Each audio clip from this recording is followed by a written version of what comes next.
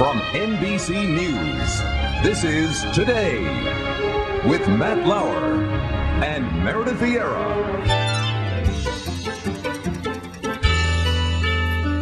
This morning on today's Mom Smart Toys, with the end of school year quickly approaching, time is running out to improve lackluster grades, but there are some toys and games that can make learning fun all year long. So says Stephanie Oppenheim from thetoysportfolio.com. She's here with some very specific uh, subject ideas. Right. And, good uh, morning. And, and good morning. And a lot of these, actually, the bottom line on this, you say, is to build confidence. Right, and to make it fun. We want our kids to feel happy about learning new things and making it playful rather than becoming the drill master. We're not teachers. Science is always Our kids are fun. doing a little bit better in science, but 15% of our 15 year olds don't have science competency, which means they don't know how to use science or technology in their daily lives, except maybe some texting. Mm. So here we have a bouncing ball set, which you're making from Alex. What is this? It's chemistry. Mm-hmm. It's a really hands on chemistry experiment. All right, Stephanie Oppenheim, thanks so much for vetting all of these games Thank that we can pick the smartest ones.